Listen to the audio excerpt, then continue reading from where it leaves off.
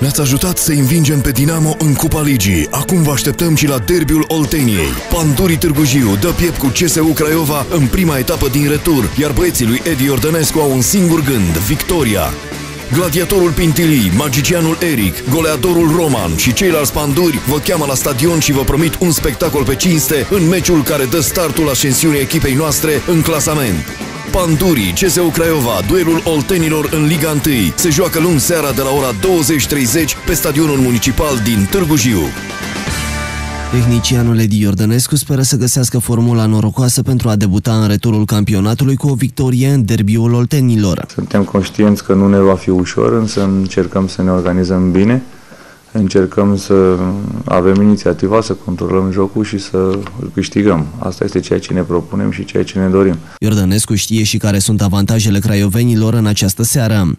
Care ar fi punctele forte ale Craiovei în fața pandurilor în această confruntare? Așa cum am zis, este o echipă care propune o organizare defensivă foarte bună, care stă foarte bine în teren. Uh, Ce am văzut în Turcia, la cele trei jocuri mi-au confirmat practic ce știam despre ei din turul campionatului.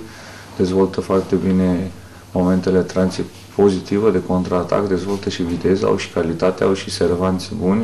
Și președintele Pandurilor este convins că meciul va fi unul strâns, însă Pandurii au nevoie mare de o victorie. Eugen Pârvulescu a mărturisit la Gorj TV că se așteaptă ca stadionul să fie plin ca la fiecare derby al Olteniei. Sunt trei puncte importante, mai ales că să jucăm în prima etapă un meci foarte, foarte important și pe această cale fac apel la publicul din Târgu Jiu, la, la iubitorii, toți cei ce iubesc pandurii, avem nevoie de sprijinul lor.